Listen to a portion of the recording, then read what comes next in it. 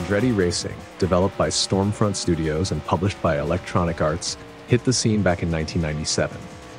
It aimed to blend the excitement of both stock car and Formula One racing into one game. The game featured 16 real world tracks where players could push their cars to speeds approaching 200 miles per hour. Each track demanded special skills to avoid slamming into the walls. And yes, if you did get too close to the barriers, your car would show visible damage. To improve your skills, you could attend the Andretti family's racing school. Learning how to conquer each track was essential. Once you felt confident, you could challenge friends or dive into the season mode to become the best driver on the circuit.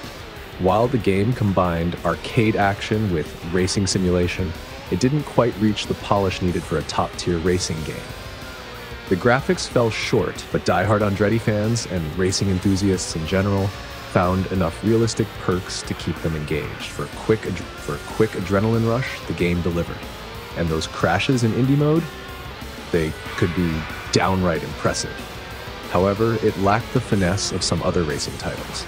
Andretti Racing was an average racing game that catered to fans of Mario Andretti, stock car racing, and Formula One. If you're nostalgic or curious about racing games from the late 90s, it's worth a spin. Otherwise, you might leave it by the side of the road.